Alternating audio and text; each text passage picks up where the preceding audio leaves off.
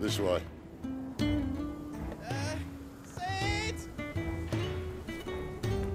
Bloody wind. Well, come on then.